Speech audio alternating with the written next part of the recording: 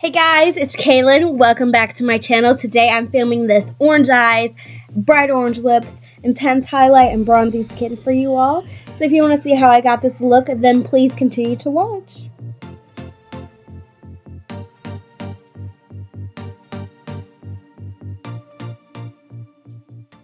Starting out, of course, I'm going in with the Hard Candy Flash Heavy Duty Concealer.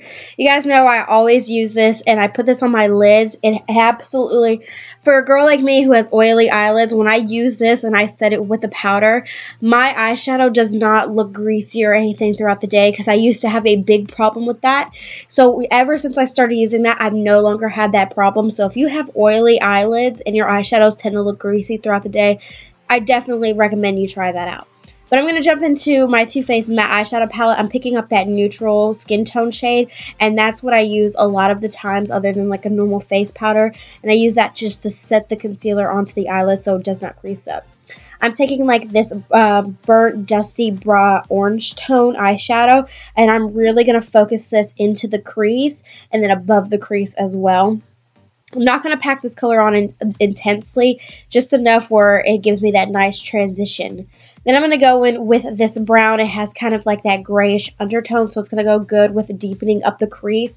I'm going to get a smaller brush and just definitely focus this mainly into the crease at all. I don't want it to bring it down any lower or any further up. I just want it to give that definition into the crease because sometimes with orange, it tends to like sag my eyelids up a little bit and with my eye color. So this is just going to help neutral neutralize it out. I'm going to go into this e.l.f. eyeshadow palette. I'm going to pick up this metallic birch silver orange down here at the bottom and I'm going to use this on my lid. At first it wasn't as pigmented as I want because it is from like a cheaper brand. Um, I do like the color but I don't like how how it's not pigmented but I did you know, spice it up a little bit. I used my Evian spray and I spritz a little bit on my brush and I picked up the color and then made the sheen stand out a lot more. So this is more of a subtle look. I was going for more of a dramatic look, but I still love how this look turned out in the end as well.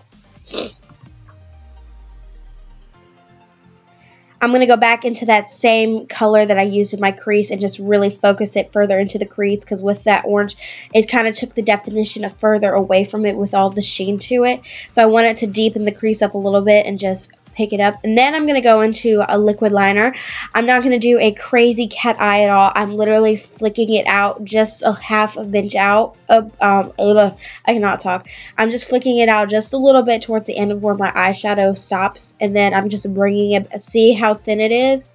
So it's not going to be super bold or super intense. It's just going to be enough to flatter my eye shape. Now for mascara, I'm taking the L'Oreal Voluminous False Fiber Lash Mascara, and I'm going to coat this dramatically onto my lashes. I totally meant to curl my lashes. I've been getting back into that, but I forgot to, so they do look a lot um, straight. I have pretty long lashes, but they stick straight out instead of like, you know, curling up. So I've been going back in with um, eyelash curler. Now going into the face, I'm using that same Evian spray onto my face, and I'm spraying a little bit onto my Beauty Blender. For foundation, I'm using the L'Oreal True Match Lumi Foundation. You'll probably see me use this foundation a lot because right now it's my current favorite. I'm absolutely, uh, uh, I cannot talk. I'm absolutely obsessed, and I love this foundation to death. I just love the coverage. I love the finish of it. I just love it.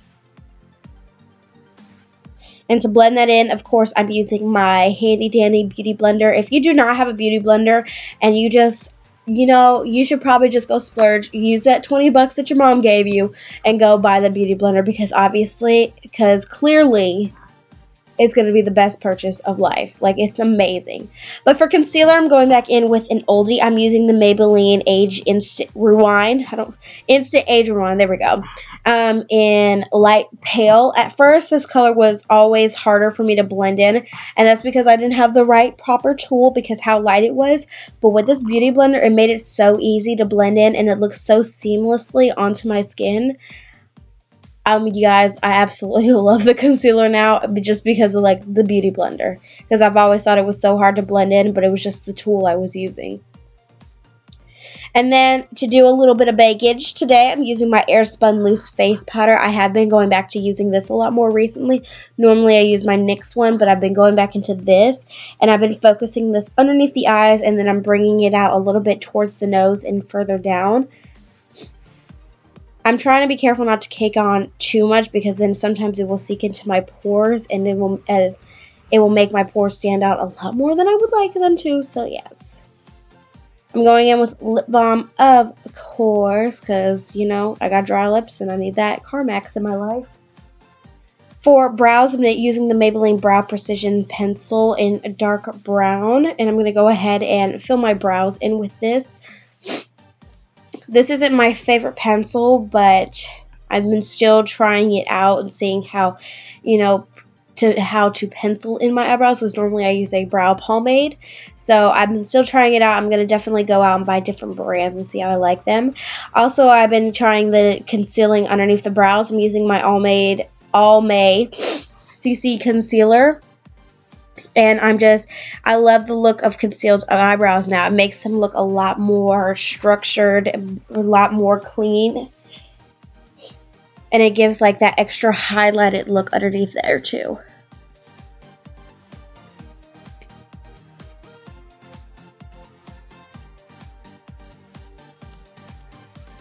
And then to go into my Beauty Blender and just dab at it a little bit just to blend it in so it doesn't look so harsh. And then after I finish that, I'm going to dust away all the excess powder that is on my face. I want to be very careful and make sure I actually get away all of the powder so I don't see it later show up in one of my photos or anything.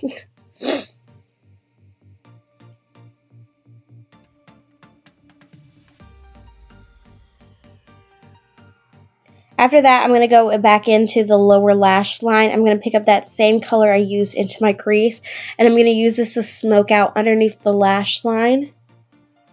So I'm going to just take a pencil brush and just smoke it sloppily, but not like super heavy underneath the lower lash line. And then I'm going to apply some mascara on my bottom lashes. So I'm going back in with that same L'Oreal Voluminous Fiber Lash Mascara. And then just coating my bottom lashes with it. Now, going jumping back into the face, I'm going in with an, another oldie but goodie. This is the NYC Smooth Skin Bronzing Face Powder in Sunny. Um, I remember when I was using, using it last summer, I didn't think it was like that tan on my face or like that dark. But now that I'm still like a little paler, it's like, it's amazing, like for my skin tone right now. Like if I want like a full on bronze, like look at my bronze face, it's amazing for the skin tone right now.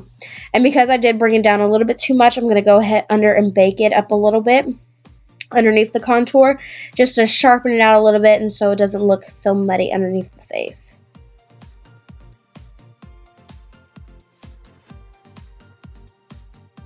I'm going to go into the Beauty Treats matte eyeshadow palette. I'm mixing this peachier tone with like this light baby doll pink to get like the perfect kind of bronze look to it. It doesn't look too uh, bronze and it doesn't look too pink. It just kind of looks more peachier, I guess. And then for a highlight, I'm using the NARS Albatross highlight.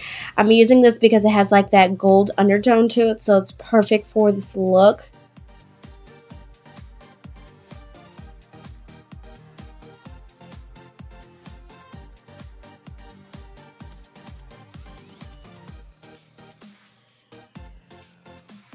Now for lips, I'm taking this L'Oreal lipstick in 400. This is like a red with like an orange undertone to it, so I love this lip color for this look. But this is the completed look. I hope you guys enjoyed, and I will see you all in my next video.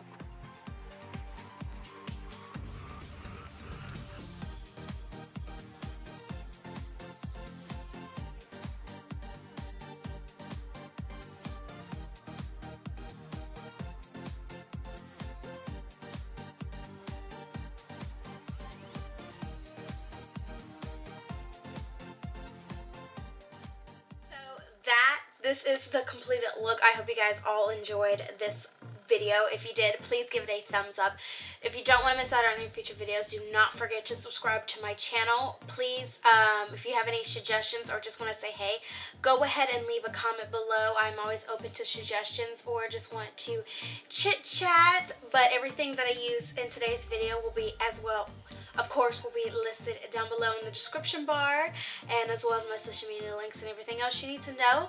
But other than that, I hope you guys are having a wonderful day, and I will see you beautiful, beautiful people in my next video. Bye, everyone.